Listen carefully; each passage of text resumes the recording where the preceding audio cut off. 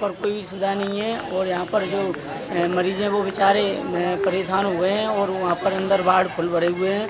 तो नीम के पेड़ों के नीचे मरीज़ बेचारे उपचार करा रहे हैं और वहाँ पर भी कोई सुविधा नहीं है। और वहाँ पर डॉक्टर हैं जो बेचारे आते हैं, दो चार एक है नहीं, डॉक्टर, डॉक्टरों का पूरी तरह से अभाव है यहाँ पर। कोई भी सुविधा नहीं है मरीजों को।